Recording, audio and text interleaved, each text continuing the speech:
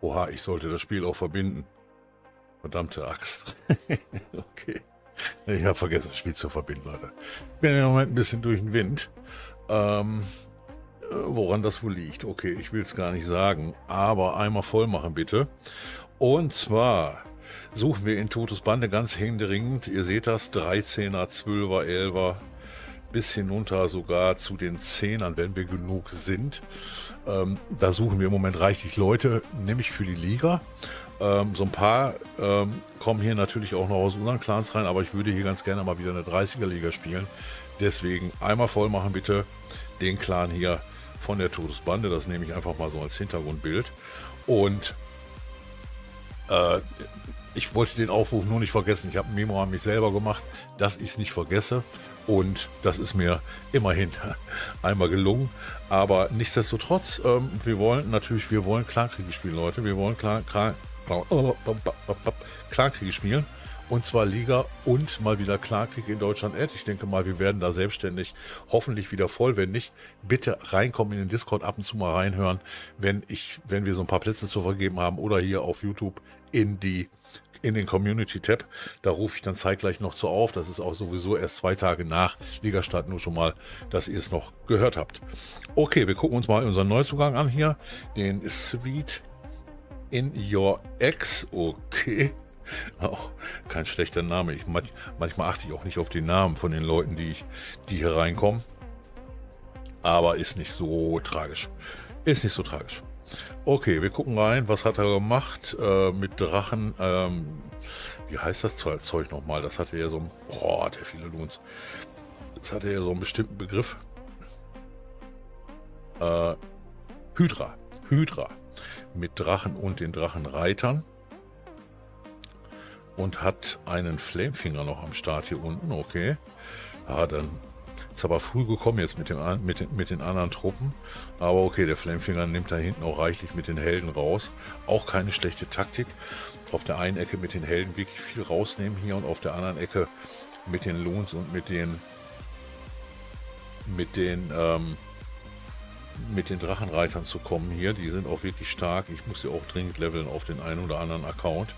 Und ähm, das geht hier ziemlich gut durch hier. Okay, so kann man es auch machen, habe ich noch nie so gesehen. Ich bin mal gespannt, was er jetzt noch in dem Flamefinger hat und wofür er den eigentlich noch hat.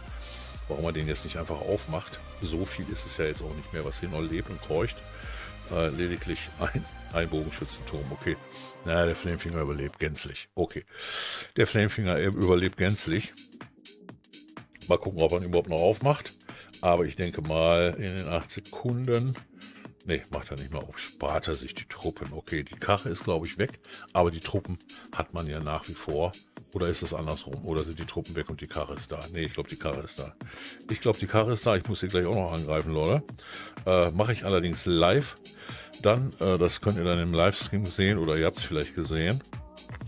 Ähm, nur, ja, war das Wochenende wieder voll, voller Clanstadt voller Clan-Kriege und voller andere Games. Die klauen mir auch im Moment ziemlich hart die Zeit, kann ich euch sagen. Die klauen mir ziemlich hart die Zeit. Aber ich habe mir jetzt wirklich mal wieder die Zeit genommen, um mich ein bisschen aufzunehmen.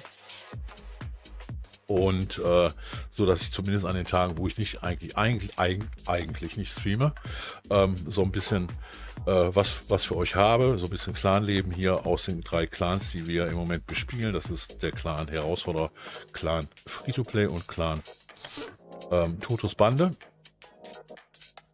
Der kleine Herausforderer kann auch noch Leute gebrauchen, allerdings äh, ich denke, die Liga kriegen, kriegen wir da wieder so durch mit 16ern. Ähm, vielleicht tauschen wir den einen oder anderen noch, ich muss mal gucken. Aber das Ganze muss auf jeden Fall diesmal etwas koordinierter abgehen, vor allen Dingen was äh, die Koordination angeht in den Clan Deutschland. Dann, dass wir wieder doppelt Medaille machen können, mindestens. Ich glaube, wir bekamen, ich bin mir nicht mehr ganz sicher, in den sieben Tagen. Zwei müssen wir abziehen, fünf Tage. Ich glaube, wir kriegen zwei Clan-Kriege minimal hin. Ich weiß nicht, wie viel wir letztes Mal gespielt haben oder ob wir doch drei gespielt gespielt haben und äh, wir dann zum regulären CK wieder mit in, in unsere Clans war. Also diesmal muss das ein bisschen besser organisiert sein. Ich mache auch viel, viel mehr Leute zu Ältesten, Vizen etc. Äh, zu Liedern jetzt nicht, sodass wir auch immer wirklich ich sag mal, ganz normal durchtauschen können, ohne dass da ewig jemand online muss online sein muss. Ansonsten gibt es ja auch die Foren im Discord. Da könnt ihr immer reingucken, wenn da einer schreibt, Leute, ich würde ganz gern kurz meinen Clan mal einen Angriff machen, was auch immer. Und dann kommt auch noch Clan Stadt ja mit dazu am Freitag. Aber erstmal startet jetzt am 1. die zweite Liga des Jahres. Bin auch wirklich mal gespannt, wie wir da so abschneiden. Ich denke mal, das wird auf jeden Fall wieder eine ganz runde Sache. Ich bin auf jeden Fall zuversichtlich, dass wir dort na, mindestens die Liga überall halten. Äh, ich, rechne, ich, ich, ich, ich, rechne diesmal wirklich nicht mit irgendeinem Aufstieg. Das wäre, glaube ich, auch ein bisschen zu viel des Guten, wenn wir mit irgendeinem Clan aufsteigen, weil ich glaube, Todesbande ist ja aufgestiegen, meine ich. Da werden wir es sowieso schwer genug haben, aber mit 13ern, 12ern, 11ern äh, geht das da ganz gut. Da können auch ein paar 14er rein, wenn sie möchten. Und sie meinen, sie sind noch nicht ganz so stark. Ähm, das geht natürlich auch. Und dann sehen wir sicherlich so coole Angriffe wie hier von Rico auf den Willy Warrior. Der Clan hieß Catalunya. Catalunya mit E-Drachen. Ui. Okay, mit E-Drachen gar nicht mein Ding. Äh, das wisst ihr. Äh, also auch, auch auch nicht, äh, die mag ich noch nicht mal gerne kommentieren. So. Ob, obwohl ich sie jetzt eine Zeit lang bespielt habe, vor allen Dingen mit dem, mit dem 16, also ein bisschen zum Farm. Da waren die gar nicht schlecht und ab und zu habe ich tatsächlich auch einen Klarkrieg damit an, angegriffen. Allerdings sind mir die Erdkombinationen im Moment nach wie vor ein bisschen besser. Ähm, vor allen Dingen wenn äh, es sich um die Truppe, um die Root-Rider handelt, denn die ist nach wie vor ziemlich, ziemlich gut. Und ja klar, es gibt natürlich hier außen dann auch noch den kleinen King Bug. Allerdings löst der King Bug nur aus, glaube ich, wenn der King auch in der Worten-Aura drin ist. Also ich glaube, er muss nur in der Aura sein. Erst King zünden, er erst, äh, erst, erst den ähm, erst den Wächter zünden und dann den King. Allerdings ist der jetzt hier ganz, ganz weit weg vom Ganzen und ich frage mich jetzt sowieso gerade, wie hat er das eigentlich noch gepackt?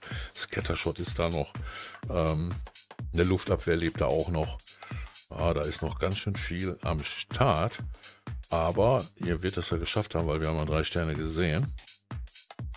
Ich habe eine neue Narratus 15 Base, äh, wollte ich auch mal sagen, denn meine letzte mit Avatar, die, die war auch durch. Jetzt irgendwann war die wirklich durch. Und dann hatte ich auch da mal wieder die Einsicht, die Tapete mal wieder ein bisschen zu wechseln. Ich denke mal, das hat, hat mir auch mal ganz gut getan. Ich habe nämlich noch, noch mit einem Stern gedefft. Ich denke, der Gegner wird noch einen zweiten Stern auf meine Base holen. Irgendwie macht das ein 16er, kann ich mir vorstellen. Und sieht auf jeden Fall ganz gut aus. Oh, wir, haben, wir kriegen hier Ramsey live mit. Okay, mit äh, auf Alex, Alex, Alex. Auch mit Hydra und Heilern. Okay, mit Hydra und Heiler. Hydra und Heiler. Die Hydra spielte man mit einer Blimp oder man spielt einen Queen Heil mit vorweg. Äh, das sind ja echte Queen Heils im Moment.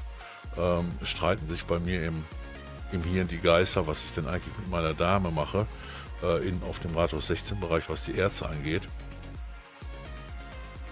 Ich muss nämlich sagen, ich weiß es im Moment nicht. Ähm, ist aber ein anderes Thema. Vieles bespreche ich auch gerne live mit meinen Zuschauern. Das ist einfach einfacher, als auf eure Kommentare zu warten. Ähm, so kann ich, so, so bleibe ich wenigstens hier, so ein bisschen im Spielfluss, äh, im, im Spielfluss drin. Und ähm, aber es war auch so viel wieder am Wochenende geclasht mit, mit vor allen Dingen äh, den Clanspielen nochmal richtig Gas gegeben und also in allen Clans haben wir die Clanspiele geschafft, auch bei Tutus Bande, auch wenn wir das da nur zu viert gemacht haben oder zu fünft oder zu sechs, weiß ich nicht. War auf jeden Fall sehr, sehr spannend und ähm, deswegen bin ich auch zu fast nichts anderem mehr gekommen. Habe mir jetzt aber auch mal wieder ein anderes Game gegönnt, das habt ihr ja mit, mitbekommen und wie gesagt, das klaut mir ganz schön extrem die Zeit. Okay, das waren zwei Sterne. Ich denke mal, ich werde gleich irgendwo reingehen, ich muss mal gucken. Den gucke ich mir mal an von Tutmosis hier, weil den werde ich mir gleich nehmen. Er nimmt auch einen kleinen Hydra, ich nenne das mal kleinen Hydra, mit zwei Drachenreitern. Und einer Blim vorweg. Okay, mal gucken, wo er zippt.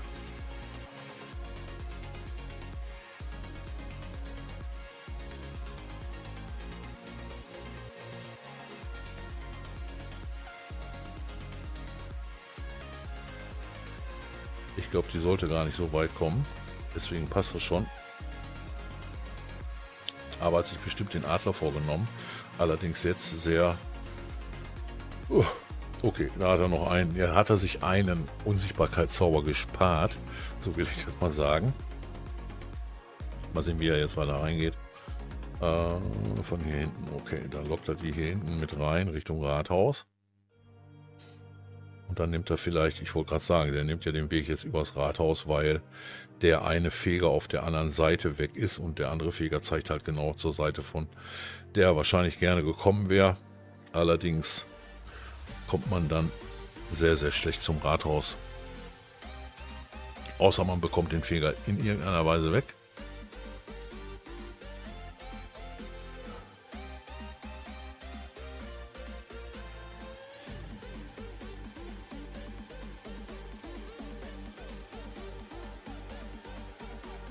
Ich überlege, ich wollte gerade sagen, ich überlege ganz hart, wie er das eigentlich sowieso noch geschafft hat hier, aber er hat es wirklich noch geschafft, hier wieder die äh, Drachen in die Mitte rein zu, reinzudrücken. Und woran hat es am Ende gelegen? Am Single Inferno wahrscheinlich. Von beiden Seiten müssten das die Drachen eigentlich ganz gut schaffen. Da oben eigentlich auch. Hier unten sind es auch noch mehr Drachen. Die sind auch schön in der Aura da drin. Vom, vom Warden, das müsste das. Das ist die das ist die Wutaura. Jo, das ist die Wutaura. Okay, oh. Da sind die noch mal ein bisschen heftiger. Okay. Äh, Habe ich noch gar nicht so dran gedacht. Das vielleicht auch mal ein bisschen zu leveln bei meinem. Äh, Anna, King hat, äh, Anna Queen hat da nichts. Am King natürlich den Handschuh. Und die Ability. Also die ganz normal, aber dann gehen die Trefferpunkte auch wieder runter bei den Drachen. Ja, hat es am Ende ein bisschen gefehlt. Okay, weiß man nicht. Aber gegen den Feger kannst du dann letztendlich nur gehen, wenn du den Feger vorher oder relativ zeitnah wegbekommst. Und naja, ja, es ist ja noch alles offen. Da oben haben wir einen Angriff von Lars. Last but not, last but not least. Ich gucke immer nach vorne in die Kamera. Ne? Ich kann mich nicht daran gewöhnen, dass gerade wenn ich aufnehme, meine Kamera daher ist. Ich habe auch keine Lust, die immer umzusetzen, weil da vorne mache ich zum Livestream immer was anderes rein und schalte ab und zu mal um im Livestream. Aber so brauche ich das nicht machen.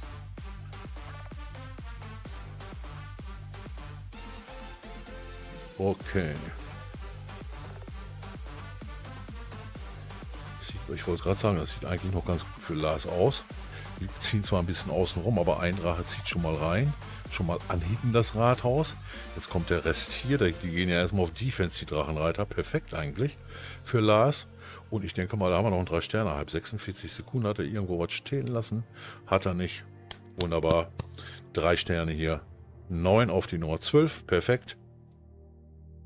Es könnte der sichere Sieg sein. Und die Masse an Erze 50, 47. Wie gesagt, ich werde mir jetzt den gleich vornehmen. Ich weiß nur noch nicht, wie. Also, nochmal der Aufruf. Wir suchen den Totusbahn der Händering Leute, damit wir dort eine 30er spielen können. Am besten noch mit ein bisschen Wechselspieler, falls der eine oder andere an den einen oder anderen Tag nicht kann. Und äh, in den anderen Kanals, glaube ich, suchen wir nicht. Bei Free-to-Play sind wir fast pickepacke voll. Da kommen dann eher welche nach der nachher Band darüber. Aber uns haben letztes Mal auch so wieder fünf, sechs Leute gefehlt. Und das ist natürlich sehr unglücklich, dass wir da dann so eine, ich nenne es mal so, kleine Liga spielen müssen, obwohl wir eigentlich gerne eine 30er da spielen möchten. Also, wir füllen auf jeden Fall auf. Einmal auffüllen bitte. Und die Liga hat heute wieder neu angefangen. Jipsa, Angriffe nicht vergessen. Mach ich nicht. Und ihr sicherlich auch nicht. Wenn euch die Folge gefallen hat, dann lasst mir einen Daumen nach oben da. Abonnieren nicht vergessen, am Kanal dranbleiben. Und ich verbleibe mit weiteren Videos und Livestreams. Ciao, ciao, euer Toto. Fest.